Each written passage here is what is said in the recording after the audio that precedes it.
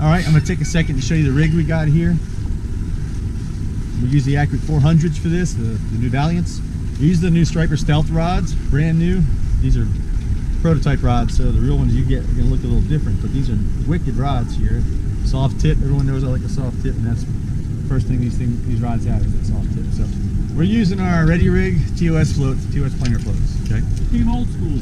That's right, Team Old School, TOS baby, and that bead, put a bead here, and just snaps on the line. You can see it can slide here. We got about four feet a leader on here. This one's a little short because we had to break off, but four to five foot, even six foot of fluorocarbon leader, 40 pound. And we're gonna go do our eel. And I just do the bottom lip up to the top with our circle hook, okay? And as soon as you hook them real quick, throw them right in the water real quick because they'll wrap up and, and you know tie and be mess. So now we're gonna grab the float. The reel is in free spool here with the clicker on. That was awesome, Put the rod in the rod holder or between your legs. And now I'm just gonna let line out. Eric, how many pulls did you have on that one? About 15, 16. Quite far out there. Yeah. After, uh, before the float.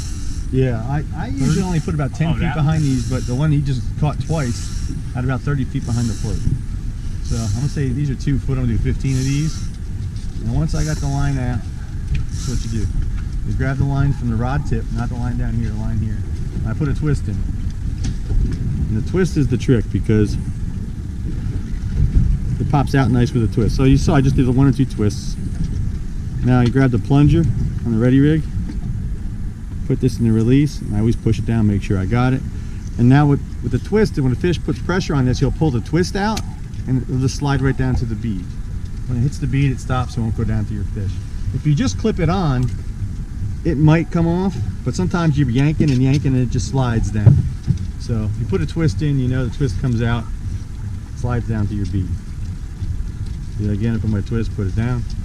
And now I'll just go ahead and get it out way away from the boat.